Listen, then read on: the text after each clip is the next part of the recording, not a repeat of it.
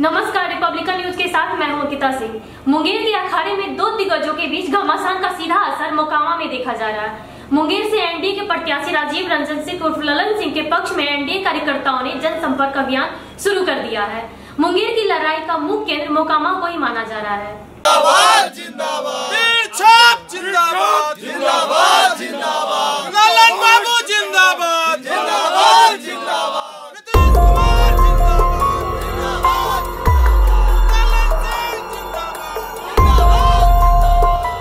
मुंगेर के रण क्षेत्र का सेंटर मोकामा बन चुका है, क्योंकि मोकामा के विधायक अनंत सिंह की पत्नी मुंगेर से चुनाव लड़ रही हैं और उनके सामने है नीतीश के सबसे करीबी मंत्री ललन सिंह। इस बीच भाजपा, जदयू और लोजपा के कार्यकर्ता घूम घूम कर ललन सिंह के लिए समर्थन की अपील कर रहे हैं। मोकामा के टाल और पश्चिमी इलाके के गाँव में कार्यकर्ताओं का समूह घर घर घूम रहा है।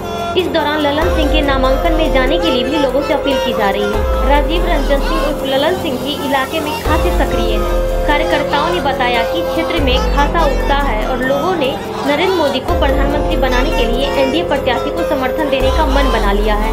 Republican bureau, Patna.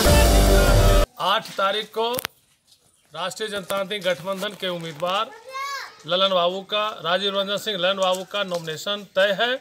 और उसका, उसी नॉमिनेशन के लिए हम लोग जनसंपर्क अभियान पूरे टाल क्षेत्र में, मोकामा प्रखंड के आज मोर ग्राम में, दोनों पंचायत में पूर्वी और पश्चिमी सघन जनसंपर्क चल रहा है। भारत के अभूतपूर्व प्रधानमंत्री माननीय नरेंद्र मोदी जी के साथ और छप्पन इंची सीना के साथ पूरा देश एक एक जनता आने के लिए तैयार है। इस लौह पुरुष को, के साथ पूरा जत मुंगेर का जनता मन बना चुका है कि एक ही नारा, एक ही नाम, ललन बाबू, तीर निशान, तीर पर बटन दबाइए और दिल्ली में कमल फूल खिलाइए।